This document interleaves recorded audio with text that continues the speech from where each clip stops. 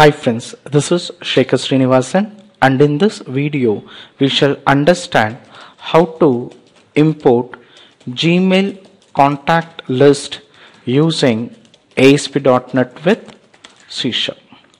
Many students do ask me a question stating that sir we are building a new website and we wanted to promote that website. So we wanted to send some email to all the contacts what we have in our Gmail account. So how do we get the list of contacts what we have in a particular Gmail ID?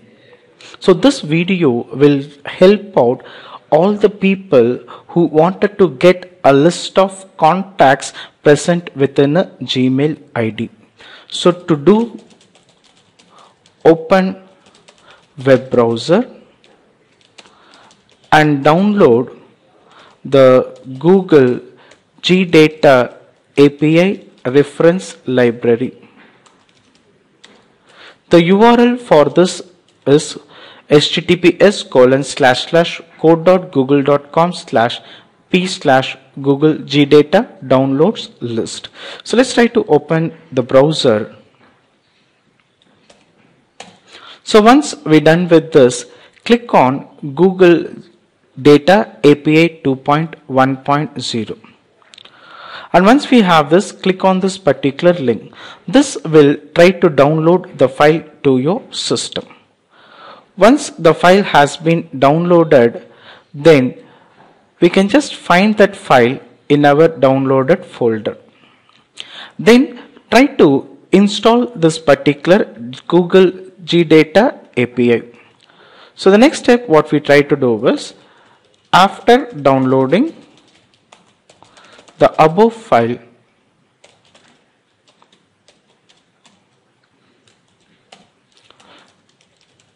install the file. So once this particular file has been installed it will try to add some kind of libraries within a folder program files google google data api sdk under the redistribution so in this particular folder, we will have the list of the list of all the references. So the above step will get the following library files. So in this particular file, in the following folder. Okay, the above step, whatever you try to do but once it is installed, the list of all the files, you can find it in this.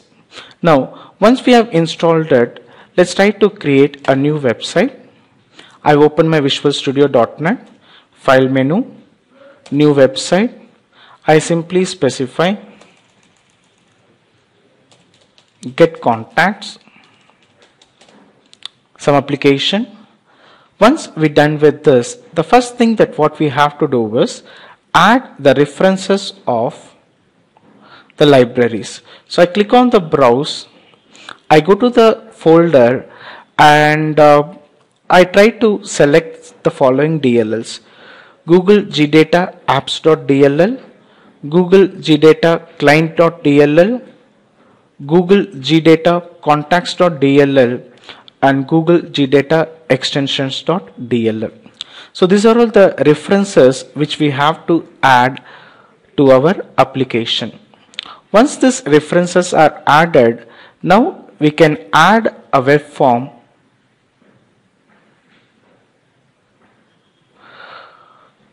for providing the user interface. Let me try to have a simple design. I would like to collect the username I need a text box to collect the values so I take a text box. Then I need a password so one more text box. And I place a button so that I can get the list of all the contacts when I click on that button. A label to provide the status. And a grid view control to get the list of all the contacts present in that ID.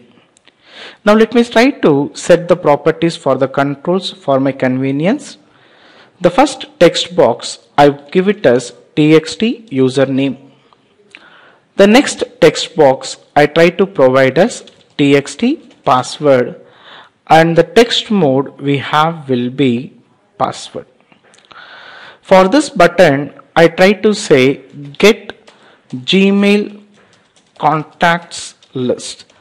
That's the text I'm trying to provide it. For the label I remove the text and I provide an ID called as LBL status. For better display, let me give the grid view width as 100%. For efficient styling, you can take the support of Bootstrap also. Now once I design this form, now let's try to start with our coding. For the visibility, I increase the font size. The first thing that I try to do here is, I would like to include some references that I wanted to use for my program. So google.contacts using google.gdata.contacts using google.gdata.client using google.gdata.extensions. These are the four reference libraries which I have to use it. So I added this namespaces. Now when the user get click on get Gmail contact list button click I just wanted to get the list of all the things so to do that what I try to do now is to make the thing simple let me create a simple data set where the data set needs a table tables.add gmail contacts that's the name of the table I provided this table needs a column so tables of 0 dot columns dot add of email ID. Once I provided these details, in order to get the information, I say request settings rs equal to new request settings. This takes three parameters. The first one is your application name, then the username and the password. Once I taken the request settings, I try to say auto paging equal to true. So when the list of uh, contacts are moved, then for the grid you can set the paging with the support of this as well. Next I say contacts request cr equal to new contact request of rs. I want to get the feed for this thing so I simply say feed contact. I say f equal to cr dot get contacts. This is going to give me the list of all the contacts that we, we have now once I have the list of contacts I take a for each loop for each contact in f dot entries so this is going to iterate for each and every individual contact that is present within our account. Then what I try to do was in this contact I need only the email. So I take one more for each loop where I say email in contact dot emails. So this is going to get a list of email IDs what we have here.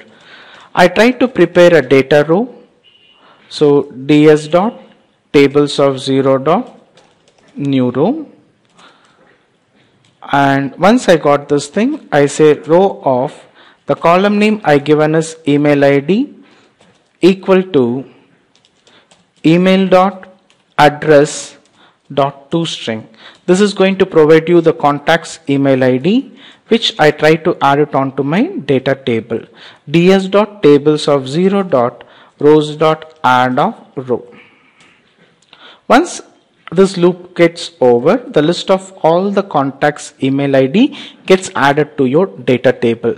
Now I simply say grid view 1 dot data source equal to ds dot tables of 0 grid view 1 dot data and I also mentioned that total contacts for